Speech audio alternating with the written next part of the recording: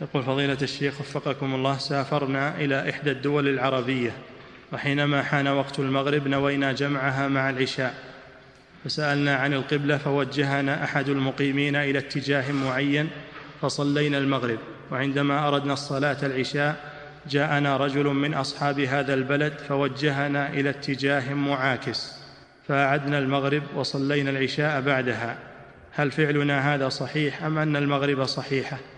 المغرب غير صحيحة لأنكم ما دمتم ببلد مسلمين وفيه مساجد تشوفون المحاريب تشوفون محاريب المساجد.